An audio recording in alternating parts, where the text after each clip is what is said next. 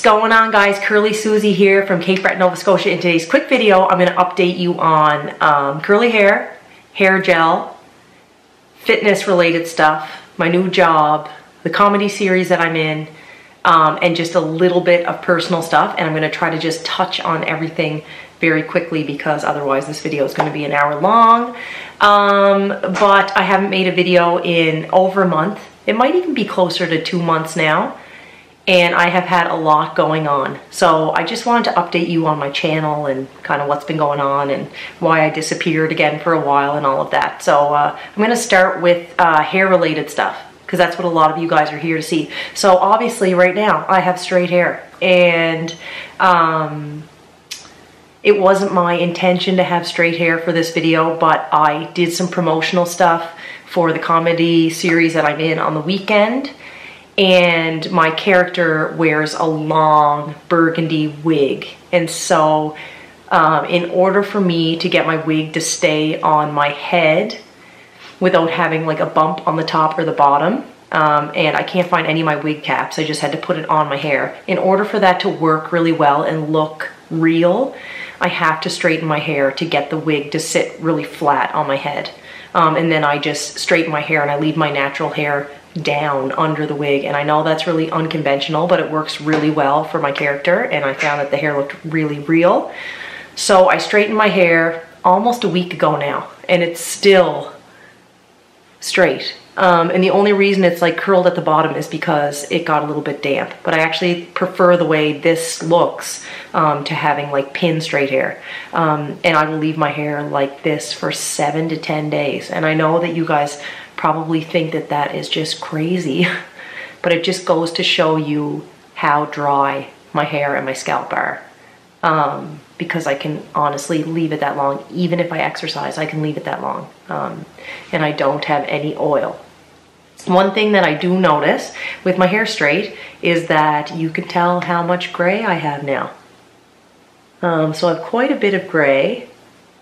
I typically box dye my hair because I'm cheap. I use something that has like no bleach in it and I try to use something that's a little bit more gentle, um, but I just haven't been doing it. So like this top part of my hair is my natural hair color plus gray and then the bottom is dark where most of the color deposits. So I'm gonna go um, and get my hair colored professionally and that might include some highlights or something just to lighten up the bottom of my hair a bit so it's closer to my natural hair color. So that's kind of what's going on with my hair today. Uh, what's going on with my hair in general is it's long. So I cut my hair super short like two years ago and it's already like, like pretty long. I know I have a black shirt on so it's hard to tell, but it's pretty long. I definitely, without a doubt, prefer my hair long. It's fun to cut your hair short. It's not that I'm telling you not to do it because it was like a thrill for me and I enjoyed it for a period of time but then if you ultimately want to have long hair, you have to go through that really long in-between stage. And I cut that short by not trimming my hair. So that's one thing about the curly girl method and about not using heat on your hair um, is that you can go a long time without trimming your hair because you're not doing anything that promotes damage. So I was really, really strict on the no straightening and the no heat, and I barely even used a diffuser. I was deep conditioning my hair. I was doing all of the things in order to keep my hair healthy, and as a result of that, I went from having like a super short haircut to having long hair in less than two years. So that worked out really well for me. Um, I would say that I straighten my hair like this, now that my hair is healthy, maybe four times a year. Um, and that's okay. And why do I not straighten my hair more often? Now that I'm not like super duper committed and like sold to the curly girl method, my honest answer is just that the less I straighten my hair, the healthier my hair is and the easier it curls. Um, and I prefer to have healthy curly hair that is relatively wash and go. So the more I straighten my hair, the more manipulation it takes for my hair to curl um, and especially the ends of my hair, the less curly it is. So I try to limit my straightening still, even though I'm not like super strict, like die hard curly girl method anymore. I still don't straighten my hair very often, but it's not that I don't like my hair straight, I do. I just don't like the long-term consequence of straightening my hair all the time. So that's all I'm gonna say about, again, about my hair right now and about curly hair. Um, one big like hair related thing that is happening that a lot of you have brought to my attention is that they have discontinued Biotera gel. This, like I shouldn't be as upset by this as I am, but this is like devastating to me. And I'll tell you why. Um, if you don't really know me and know my channel and you're kind of new, like I'm not like a real influencer. I don't really do a whole lot of promotional material. I mean, I dabbled in it, so there's a couple of videos here and there that are very blatantly ads for companies, but very rare did it ever have anything to do with hair products. But you would think that I'm promoting this Biotera gel or they're paying me because I just talk about it so much. I show it in all my videos. Um, like I call it my holy grail product and all that. All of that was so sincere and so genuine. It was one of the first products that I ever purchased um, when I decided to go back to having curly hair and I have yet to find a gel that I like more than that. So over the next few months, my mission is to trial some gels. So I will be making um, a gel related video. Basically, I'm going to try all the gels and I'm going to talk about how they worked on my hair and I will show uh, little video clips of what my hair looked like with the different gels and what I liked about them, what I didn't like about them, and I'll talk about the smell and the price and all this and that, um, just to kind of save you guys some money and save you guys some trial and error. And because I am genuinely looking for a new product. So if any of you have any suggestions, please let me know in the comment section below um, and I will be making a video and you will know that it is not sponsored. I may reach out to companies and ask them to send me free gel just so I don't have to spend a bunch of money, um, but I am not going to promote something that doesn't work really well on my hair and that I don't think will work well for you or that like something that's like too expensive, hard to get, blah, blah, blah. Unfortunately, we're going to be going back to a period of time where my videos are very infrequent and um, I apologize to those of you that really love my channel. And again I'm like so humbled by this and I appreciate it so much. And I understand because there are certain people that I follow on YouTube that I really just like their personality and I like their channel and I look forward to their videos. So if you feel that way about my channel, then I am sorry that I am kind of like hit and miss I'll go through periods of time like I did this summer where I'm making videos all the time and then I have periods where I make no videos. And the main reason for that is that this is not what I do as a career. It's kind of like a hobby for me. Um, and it's going to be increasingly difficult because I recently took a new permanent full-time job uh, at the hospital where I work. And I'm super proud of myself. It's kind of like a step up for me. It's a management job, so I'm the quality leader for perioperative services, which is basically like surgery and surgical services for like a whole zone, a whole eastern zone. So that's Cape Breton, um, and then another large hospital that's on the mainland. Um, and so, like, I'm super proud of myself. It took me a lot of work. It's something that I've been working towards for a really long time. It's like the perfect job for me because um, I get to promote quality and patient safety. I get to do little bits of education. I'm doing research. Um, I'm working as part of a team. Um, and it's just really rewarding. So I got this new permanent job. It's a lot of work. Um, and it's full-time hours. So before I used to work three days a week and then I did YouTube on the side and was a mom. Um, and that was more than enough to take up my time. So now I find with my kids being in school full-time and daycare, I have a lot more free time. So I took on this full-time job um, and I will be doing little bits of YouTube and I also am doing some comedy now. So I am working as an actor in a comedy series that's on SwearNet, which is like I don't have time to talk about it in this video and you've heard about me, you've heard me talk about it before, but it's, um, it's like a dream come true. It's like, you know, when you have this like dream, like, I don't know if somebody's watching this, if you know, like, in your heart that, like, you think, like, you're like, I'm a good singer and I would really just, it's just my dream to sing in front of people. And it's something that you always kind of think about, you never pursue and maybe an opportunity comes up like kind of serendipitously for you to be able to do something like that and maybe you never chase that dream or whatever.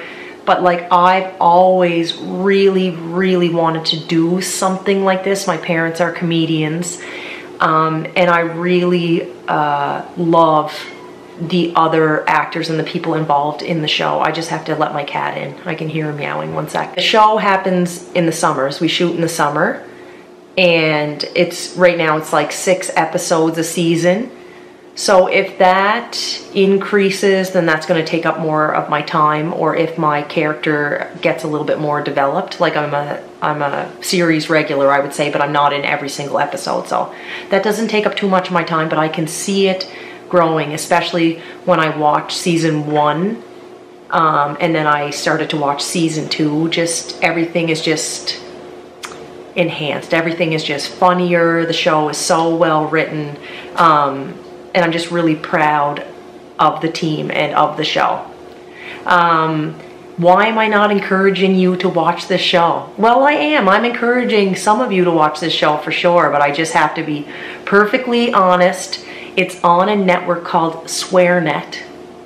Um, so there is a lot of like cursing and a lot of like drama and it's just probably not for everyone. If you're a fan of like drag queens and swear words and family drama and the Cape Breton accent, then you might really love the show. So I will leave a link in the description box below. You do have to sign up for a membership for SwearNet. Oh, what was that? Um, but it was, it's only like $2.50 a month or something like that. Or you can buy the year for $25. Don't quote me on those prices, but it's it's not very expensive. And then you would get to see the episodes. And there's also like a podcast on there. It's called Tracy and Martina Dirty Deeds. That's the show. And the podcast is called Shooting the Shit with Tracy and Martina. So it's it's interesting. Um, but anyway, that's all I have to say about that. My son Wilson, and I'm just going to touch on this because he was in my very first video. My son Wilson, who was a baby in my first YouTube video, turned six yesterday. And that is just, that just blows my mind how much time has gone by since I started this channel. It's crazy. So he turned six. And then my second son, Hank, who a lot of you were with me on my like fertility journey, like struggling, trying to have a second baby and just, that seemed like that was yesterday. And he is turning three next month. Um, so it's just, cra it's just crazy how quickly time goes by. Um, I'm to try to get them involved maybe in my next video so you guys can have a gawk at them.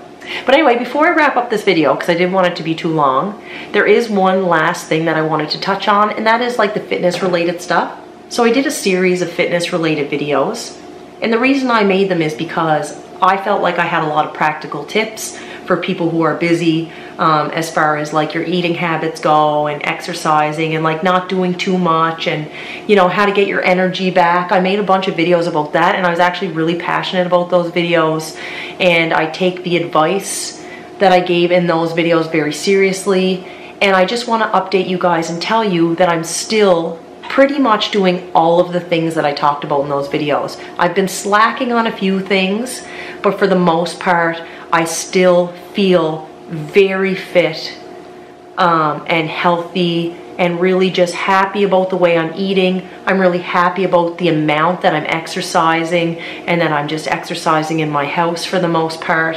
Um, so if you watch those videos and you're kind of wondering what the update is on those videos, the update is that it's just still working. There is nothing cool or sexy or like new about any of the information I gave in those videos. It's just all very practical and it's all the things that I actually do. And I feel like I'm in crazy good shape especially for somebody who's going to be turning 40 next year. I lost about 35 pounds. Um, but the goal wasn't to lose weight. The goal was just to be as healthy and have as much energy as possible and to start moving my body and feeling really fit. And that has worked really well. I will talk about the things that I've been slacking on right now, right quick, and then I'll wrap it up. So in the first video, I talked about getting my energy back. One of the things that I did was I got rid of my social media apps on my phone. I find I'm slipping, especially now that I have two phones. So I have like my work phone and my personal phone. When we're doing promotional material for the series, I had Instagram back on my phone because I was making posts to encourage people to watch the show, etc. And I would want to read comments and stuff. So I put Instagram back on my phone. Um, and I'm selling hockey tickets for my son's hockey.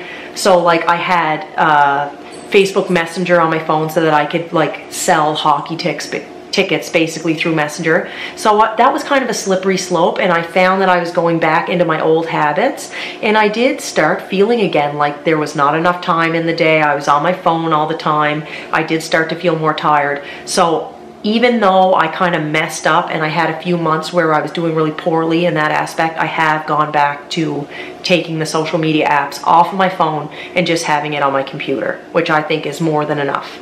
The next thing that I did was that I quit drinking alcohol and just full disclosure, and you know I'm a very open person, I did not quit alcohol because I was an alcoholic. I do have a lot of alcoholism in my family.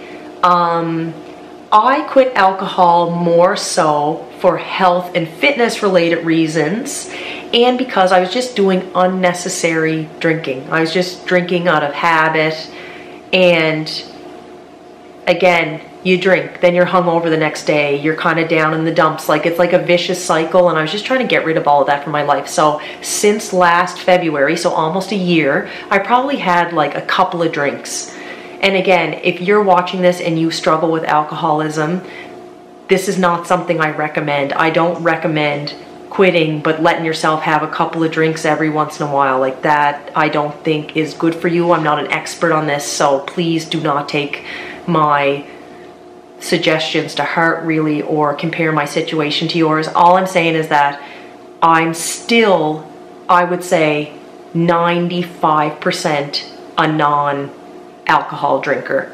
Um, and I am proud of that.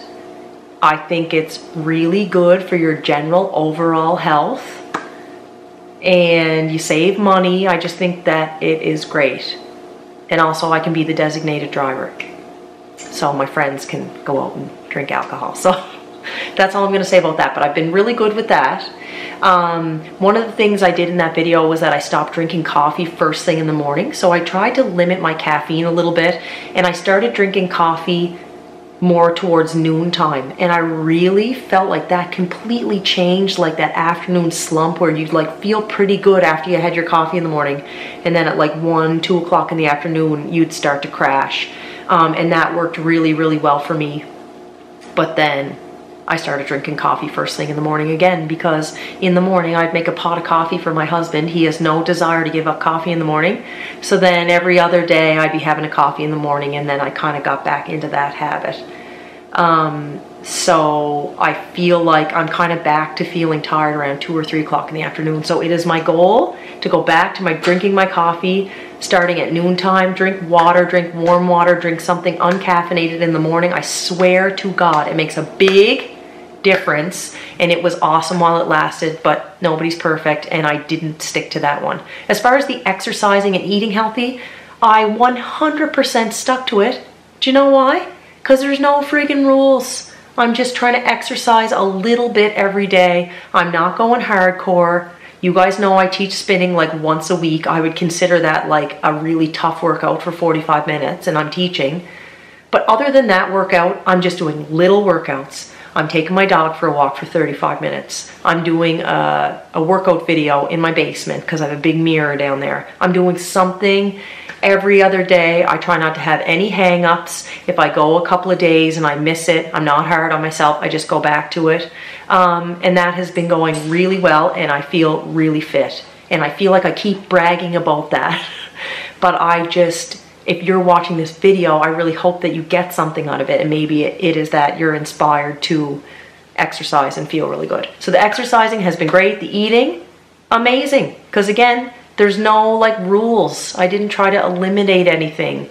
I'm not eating like super low calorie. I'm not eating like no carbs or trying to cut out sugar or eat clean or do anything that's difficult to sustain. I just kind of figured out roughly how many calories I should eat a day, roughly, and I try to stick to that. Again, without being hard on myself.